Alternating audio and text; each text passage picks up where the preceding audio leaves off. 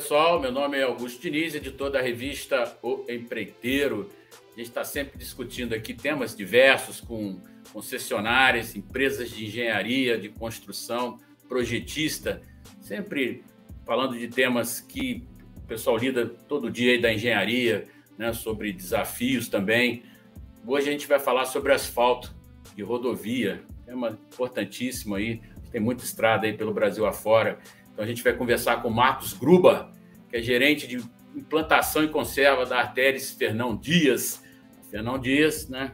Para quem não sabe, liga Belo Horizonte a São Paulo, ou São Paulo Belo Horizonte, é uma pista duplicada já. Quem cuida lá é a Artéries, a concessão da Artéries.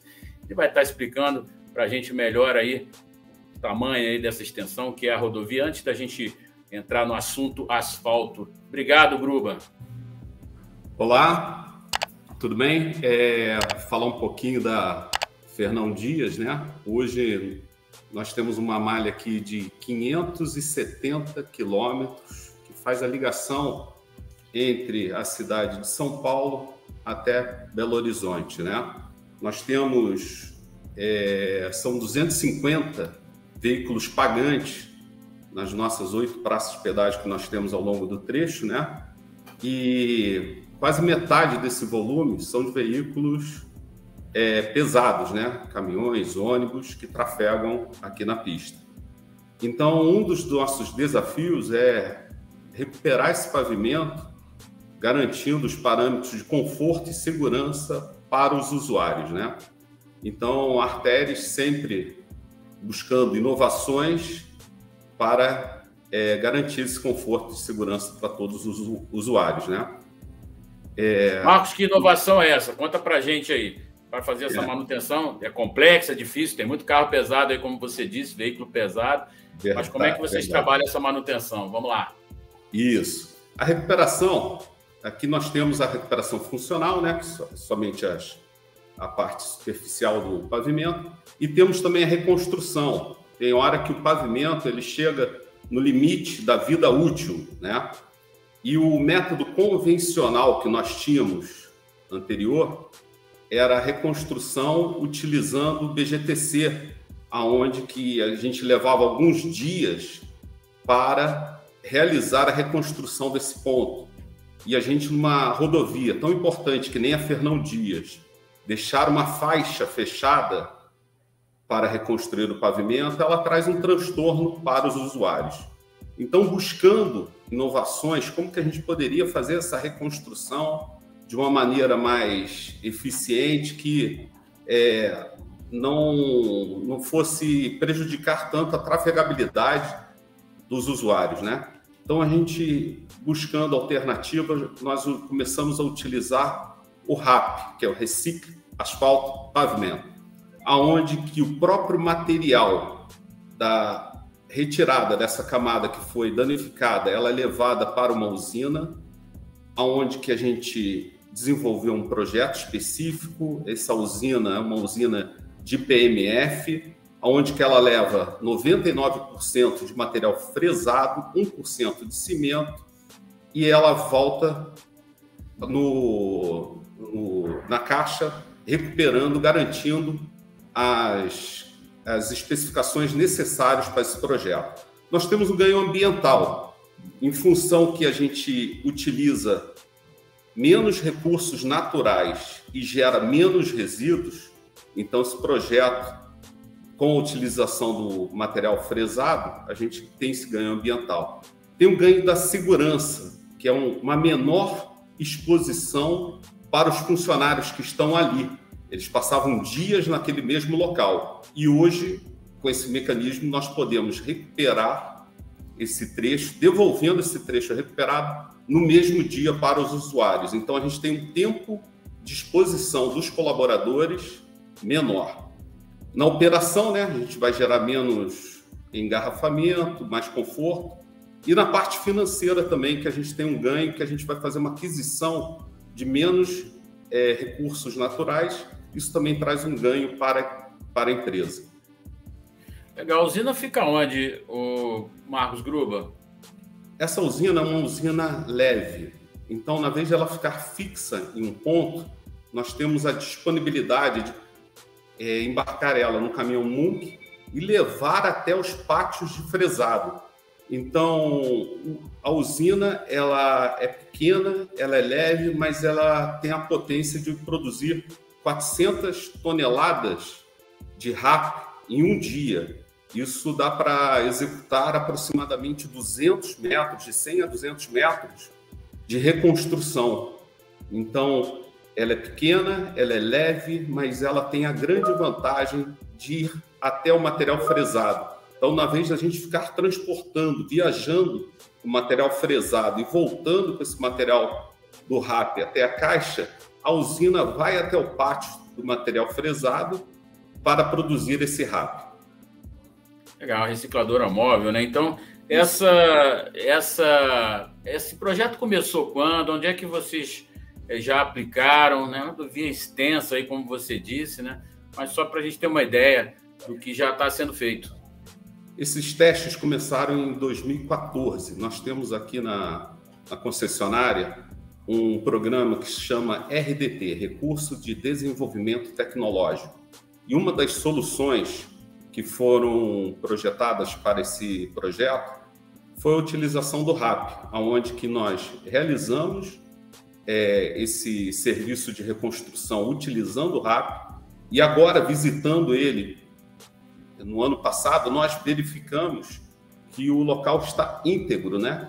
Então a gente verificou que era uma solução que foi feito um teste, que foi feita essa análise e ele atendeu aos nossos parâmetros. Nós temos as obrigações contratuais de garantir uma deflexão, garantir um conforto de ir, e quando a gente foi revisitar esse projeto, nós verificamos que estava com as condições adequadas e que a gente poderia seguir com ele, né? Então, a partir de então, fizemos a aquisição da usina móvel, né? E começamos a trabalhar ele em uma larga escala. Esse ano nós já fizemos é, 3,6 quilômetros de faixas de reconstrução. Então, nós já atendemos 19 trechos que estavam com o pavimento próximo do seu limite de vida útil e fizemos a reconstrução utilizando esse sistema. Legal, esse método, esse método, o Marcos deve ter, Marcos Gruba deve ter sido é, desenvolvido no laboratório de vocês e detalhasse um pouco mais essa questão do laboratório da Artéria, onde é que fica, porque é, é uma ação permanente da rodovia concessionada, onde ela faz os testes, né, com o pavimento de todas as, todo o trecho, né? Ela tem, ela tem um histórico, né, de cada parte da rodovia, né, o que, que ela pode aplicar, quais são os problemas constantes nesse trecho, né? Queria que você explicasse um pouco mais e como é que vocês, para onde vocês estão aplicando essa metodologia. Isso. Nós temos, é, no controle de qualidade, nós temos o CDT, que é o Centro de Desenvolvimento Tecnológico aqui da Artéries. Ele fica localizado aqui na Fernão Dias, no município de Vargem, aonde que esse corpo técnico auxilia a gente nesse projeto, classificando esse material fresado, porque isso é uma parte muito importante, né? A usina é muito simples, mas acho que o segredo é justamente esse, é controlar a qualidade garantindo as especificações de projeto para que a gente tenha o sucesso e a longevidade na recuperação.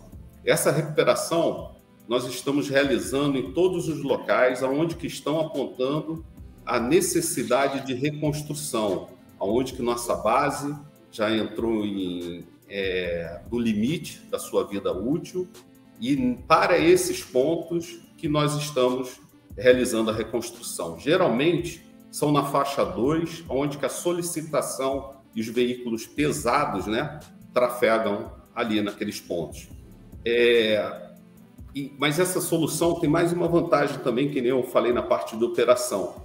Nós podemos atuar no município de Betim e Guarulhos, que tem um movimento muito grande, e aonde que a gente consegue, que nem eu falei, atuar na mesma madrugada. Então a pessoa volta do trabalho para descansar na sua casa no final do dia. Nós entramos 11 horas da noite, abrimos essa caixa, retiramos esse material fresado, levamos para a usina e já voltamos com o RAP para essa caixa, recuperando e liberando esse trânsito antes das 5 horas da manhã. Então, o usuário, quando vai para o trabalho, ele já cruza essa pista recuperada, sem o desconforto de um engarrafamento ou um imprevisto. Legal, o Marcos citando aí Guarulhos, né, na Grande São Paulo, Betim, na Grande Belo Horizonte, são dois polos industriais aí, muito movimento de caminhão, tem muita empresa lá, galpão, os caminhões estão em movimento Verdade. permanente nessa área. Ele conhece bem. Marcos, isso aí para engenharia, Marco é engenheiro civil, né, formado, tem pós-graduação, bastante experiência em concessionária. Para engenharia, o que está trazendo de essa metodologia? Discute-se muito né, sobre reciclagem de asfalto já há algum tempo, né? Mas em termos é, do que você percebe, o que você vê, né, agora na prática, queria que você falasse isso. Nosso corpo de engenheiro, né, está sempre querendo saber se qual é o ponto aí a questão chave aí dessa questão de reciclagem de asfalto que você aprendeu, você viu? Conta para gente.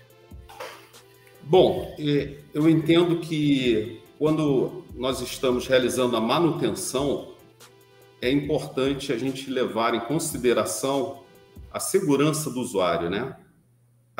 o valor da vida para artérias é um valor inegociável, tanto para os nossos funcionários como para os nossos usuários. E a busca por soluções que possam proporcionar mais segurança é uma busca contínua aqui. A inovação é um dos nossos valores também. Então, mesmo com um projeto definido, que o BGTC é, é utilizado de uma forma extensiva aqui na, na Artéries, a gente foi buscar essa inovação pelo principal motivo de realizar esse serviço com mais segurança para o usuário. Então, a gente tinha que ficar esperando aquela base cimentícia curar. Isso levava dias, né? Uma caixa fechada. E toda hora que a gente fecha uma pista, é o momento de, um, é, de uma manobra de um veículo e, um, e muita atenção, né? Então, a gente buscando essa solução, minimizando esse tempo, eu entendo que esse foi o, o valor, esse que é o inconformismo da gente não executar é, sempre a mesma coisa da mesma maneira. Vamos buscar o que, que a tecnologia, o que, que a inovação pode realizar. E na hora que a gente começou a estudar, a gente viu também os aspectos ambientais.